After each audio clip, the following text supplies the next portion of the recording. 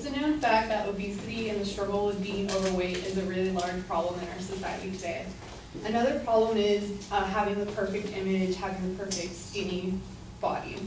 Some people are so unhappy with their weight that they're desperate to find any type of solution.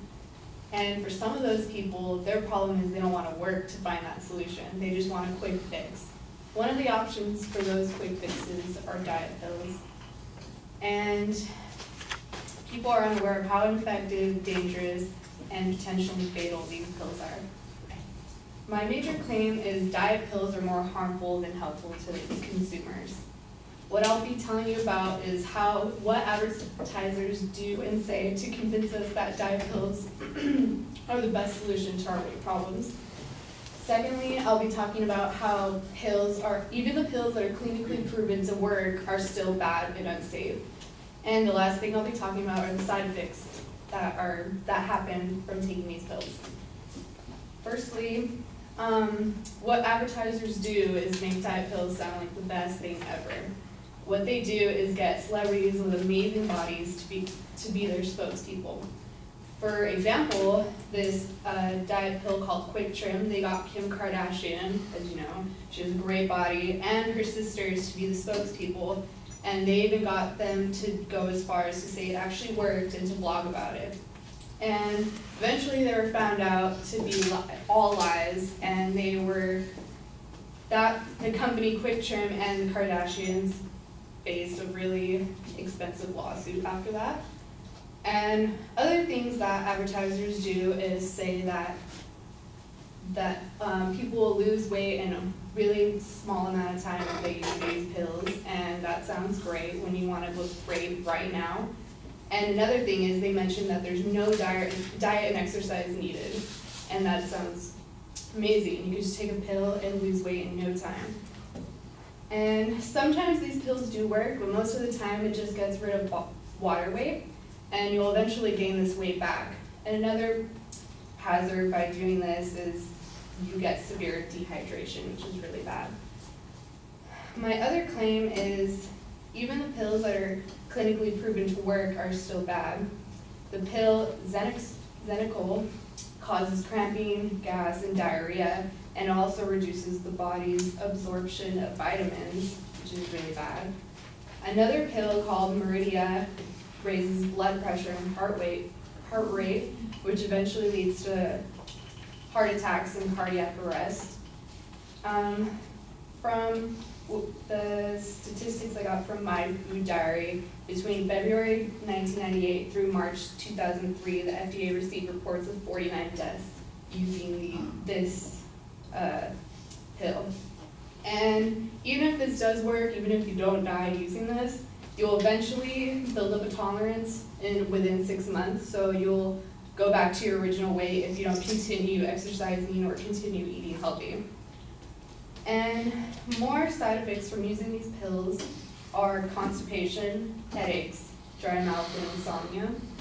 More severe side effects are addiction, because in these pills they find some of them have amphetamines, they have the same chemicals antidepressants and anti-anxiety drugs have. So you'll eventually become addicted, and even if you stop using them, you'll still, your body will still crave them. And in the end, your habits won't be altered. You'll still want to eat unhealthy. You'll still not want to go to the gym. So you'll still be the same person. What are these pills going to really do? And from all this information, I still believe that diet pills are more harmful than helpful to all of its consumers.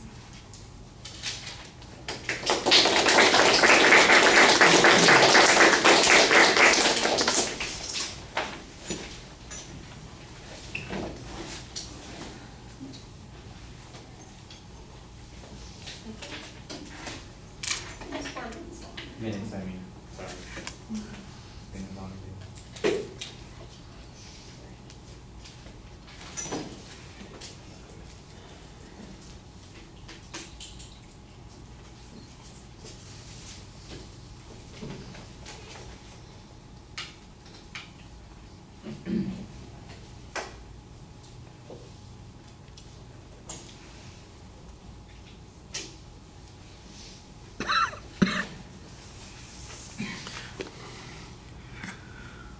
All right, Jennifer, there are a couple of really strong parts of the speech, and then there are a few things that are problematic. Let's start with the stuff that worked well. You've got a very clear statement of what your proposition is, and there's an excellent preview of what the structure is going to be. I also thought you did a good job signposting, uh, at least on the first couple of points, uh, as you got to those points. I didn't think it was quite as clear on the third point as it probably should have been. So those are the strong things organizationally for the content of the speech.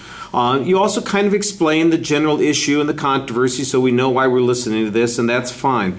Uh, it's the evidence that I think needs a lot more work. You've got some examples that you cite. You mentioned the Kardashians and the quick trim thing, but I don't really get a source citation on that. I'm not familiar with the case. I'd like to know some proof that they are uh, confirmed liars and that they have been found responsible for uh, these problems and they're having to compensate people uh, and that the drug doesn't work or and that it's dangerous the only thing I've got is your say so, and you use them as the example, but I don't have any proof that that happened. Um, so I think that I know that you did some research on it, but you need to get that research into the speech. Uh, the same thing is true on a lot of the points. You make uh, claims about what the variety of drugs do uh, and I don't get a source citation or any proof. It's just a general listing of things that people may have said about these things. On that last point, for example, you talk about some of them even have uh, amphetamines as their content, and people get addicted to them and all those kinds of things. Now, I don't know what you're reading. I don't know how timely it is, but I do know that about eight or nine years ago, there was a big deal where all of the ones that had uh, amphetamines, you know, in them were pulled from the market for the dangers that you're talking about. And so I'm not sure that that continues to be a problem. If it is a problem, you need to tell me what the drugs are and who's responsible for those things, and I'm not getting that information in the presentation. So the evidence, I think, is the part of the speech that needs the most work. You've got examples, but you're not giving us sources for those examples, and it sounds to me like you're kind of paraphrasing what's being said on the information instead of giving us direct quotes. Uh, the one thing that comes close to being um, you know, a, a, a, pretty solid source citation is this information about um, you know, uh, the 49 deaths that were connected to this one use of the drug. And the source citation I got is my food diary, which I'm not exactly sure what that is, and I think that's something that you should qualify. So that's the one place that I thought that you did provide some source citation, and even then it was a little bit vague. So that'll be something to fix next time. All right, thank you.